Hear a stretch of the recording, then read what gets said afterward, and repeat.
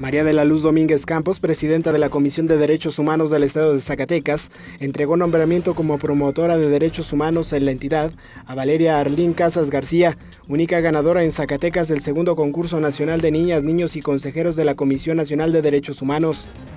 La niña zacatecana será una de las 10 afortunadas que viajará a la Ciudad de México para desempeñarse por un día en el cargo de niña consejera de la CNDH y expresar libremente sus opiniones en torno a sus derechos.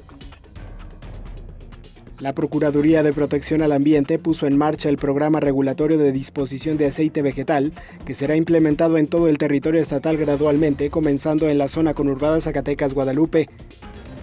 El programa dará certeza del manejo de dicho residuo, que se utiliza en la elaboración de alimentos y es considerado de manejo especial.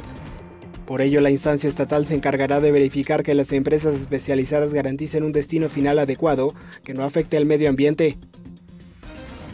Del 26 de septiembre al 4 de octubre las expresiones del arte serán la vía para proporcionar reflexión en torno a la violencia del Estado en la tercera edición del Coloquio contra la Violencia y el Olvido, organizado por la Secretaría de Actividades Culturales del Sindicato de Personal Académico de la Universidad Autónoma de Zacatecas.